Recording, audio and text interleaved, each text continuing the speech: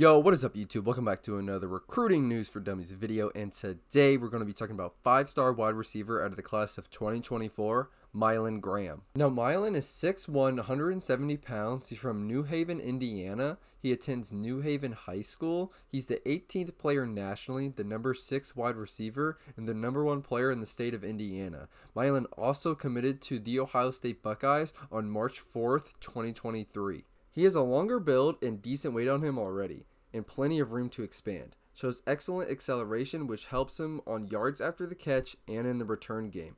Gets off the line quickly and runs his path with suddenness and quickness. He is capable of high pointing the ball and catching it away from his body. Looks like a high end prospect with outstanding potential. He has no apparent limitations but must continue improving his technical skills and strength while working on his blocking.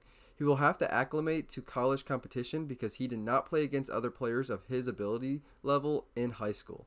He should be an impact collegiate player and an early draft pick.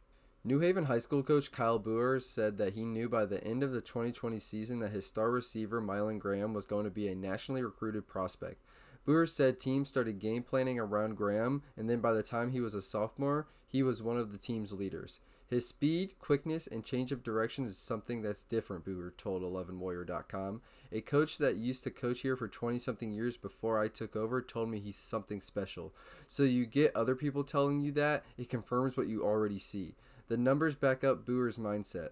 Through three seasons of varsity competition, Graham racked up 1,496 yards and 15 touchdowns. Yo, thank you guys so much for watching another video. Don't forget to like, comment, and subscribe, and hit that notification bell to get updates on every video that I post. Let me know your thoughts on Mylan down below and how he will fit into Ohio State's offense. And with that being said, I'm out. Peace.